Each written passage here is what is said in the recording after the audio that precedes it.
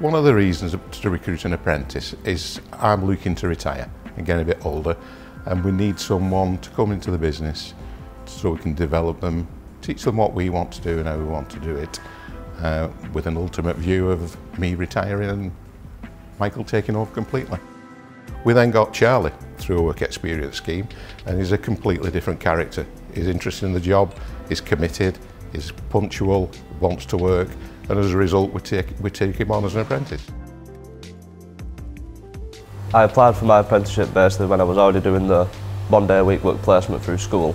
I knew I wanted the apprenticeship here so I was asking and eventually they asked me and offered me the apprenticeship.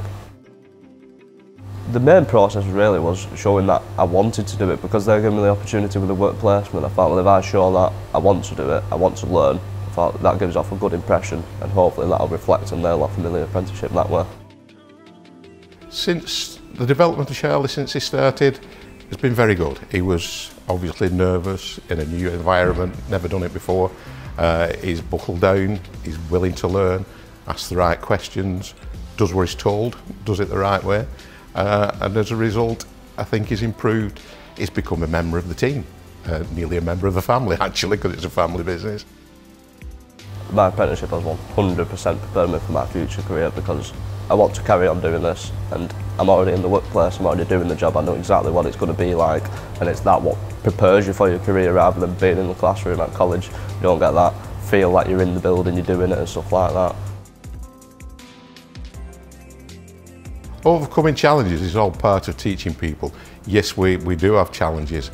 Uh, initially, we've been doing this job decades and to us it's second nature. And one of the difficulties when you take an apprentice on is they know nothing, they've never done the job before, and you can't expect them to just jump in and do it. You need to teach them every step of the way.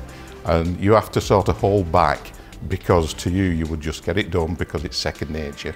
But to them, they've never done it, and you have to take the time, explain what you want to do, how you want them to do it, the safety aspects of it all, and the outcome of it. And it's been rewarding for both of us, I think. Would I recommend an apprenticeship to other employees? Definitely. All industry fails without apprentices. We all need this influx of new blood, no matter what business you have. If you can't get new people in to train them up, to do the job how you want it doing and doing it right, then the business ultimately will fail.